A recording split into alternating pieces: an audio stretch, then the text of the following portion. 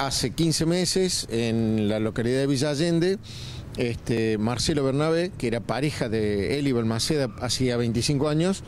eh, desgraciadamente, muy eh, probablemente por un episodio de celos, este, se llegó hasta el domicilio donde estaba ella, la apuñaló en distintas partes del cuerpo, este, le provocó la muerte. Hoy, eh, en la Cámara Tercera del Crimen, con jurados populares, por unanimidad, eh, este, Bernabé, Marcelo Bernabé, fue condenado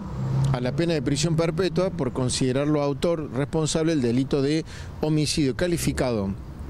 tanto es por la relación de pareja como por violencia de género. Este aspecto de la violencia de género fue disputado por la defensa y por unanimidad este veredicto ha señalado, indicado que existe este, este aspecto.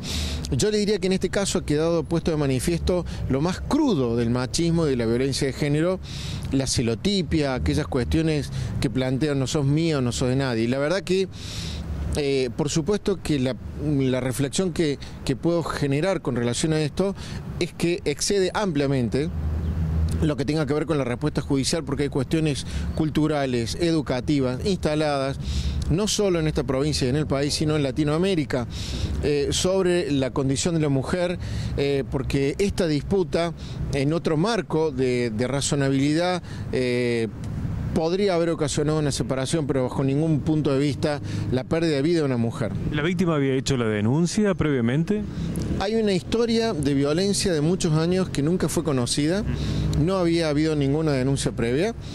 pero ah, hubo actos simbólicos de violencia contra, contra ella, no le dejaba vestirse, no le dejaba pintarse las uñas, no le dejaba arreglarse, hubo cuestiones de violencia psicológica, de violencia física, eh, nunca denunciadas, nunca puesta en conocimiento y finalmente se da este episodio frente a la sospecha de él de que ella mantenía otra relación.